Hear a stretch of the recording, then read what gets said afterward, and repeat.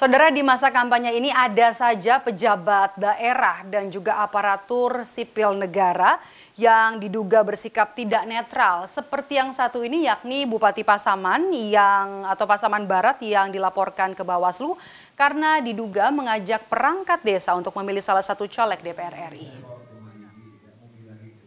Video amatir ini merekam aktivitas Bupati Pasaman Provinsi Sumatera Barat Hamsuwardi yang diduga mengumpulkan perangkat nagari dan mengajak mereka untuk memilih salah satu caleg DPR RI. Berbekal bukti video amatir ini, Bupati Pasaman Barat akhirnya dilaporkan ke Bawaslu.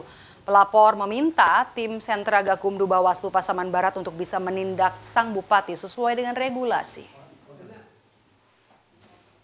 Terkait dugaan uh, tindak pidana pidana pemilu kita duga sesuai dengan bukti yang kita peroleh itu video adanya pengumpulan wali nagari camat uh, di aula rumah dinas Bupati Pasaman Barat. Kita melihat video yang ada itu uh, untuk menghimbau atau untuk memilih hmm. gitu. Itu mengajak berarti. Mengajak. Di Goa, Sulawesi Selatan, dua orang aparatur sipil negara dipanggil Bawaslu Goa karena diduga menggunakan fasilitas negara serta melakukan praktik politik uang untuk mengampanyekan salah satu caleg DPR RI dan capres-cawapres beberapa waktu lalu.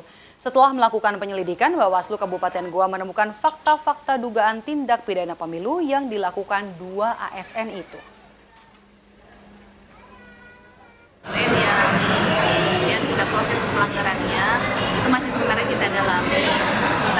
Kami dengan melakukan pemeriksaan para pihak, mulai dari ASN-nya selaku terlapor dan penemunya selaku panwascam beserta saksi-saksi yang eh, mengetahui terkait peristiwa tersebut.